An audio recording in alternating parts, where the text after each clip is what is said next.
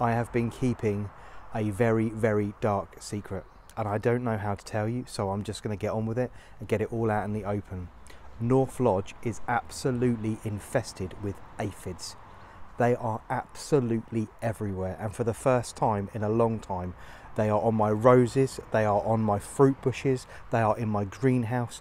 There is not many plants currently at North Lodge that aren't covered in whitefly, blackfly, or standard common brown aphid. And there's a very, very large problem to get rid of.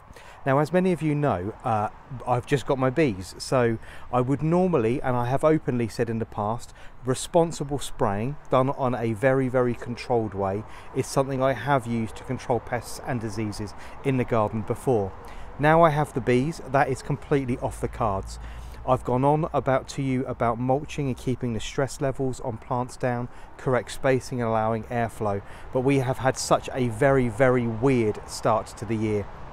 A very mild winter, followed by a very, very dry, warm spring and now a sopping, sopping cold wet May when everything should be strong and oomping up. Things are now susceptible. I've got roses already in the garden, unfortunately, with black spot caused by that very, very long period of seven or eight weeks we had without rain uh, before this huge bout of rain in May started. And it's basically been freezing cold and it hasn't stopped raining since. So it's left me with a little bit of a conundrum. How am I going to get rid of these nasty sap drinking aphids? Now, obviously, we have an awful lot of birds in the garden. They do control an awful lot of these. So one weak thing with spraying is you have to be very, very careful and you don't want them taking these aphids and the larvae back to their nests and feeding them to baby birds. Nobody wants that on their conscience. So onto the internet to find other solutions of how these things can be controlled more ethically and with a less footprint and less damaging effect to the environment. So you have many, many ways. You can either ignore them, you can say live and let live, and you can let these little things go about their business.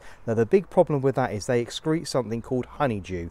Uh, it is actually aphid wee. It falls from the uh, uh, infested stems onto the leaves below, and then you can get really nasty black powdery, or sorry, black mildew, which is really very unpleasant So you've got two problems.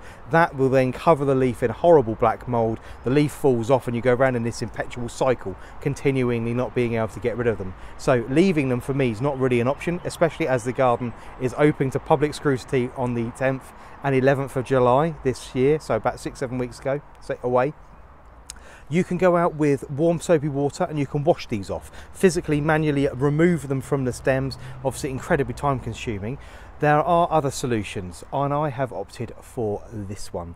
Now you probably can't see this, uh, I don't know if I turn that round. I have chosen to spend some of my birthday pennies from my birthday last week on buying myself some adult uh, ladybirds.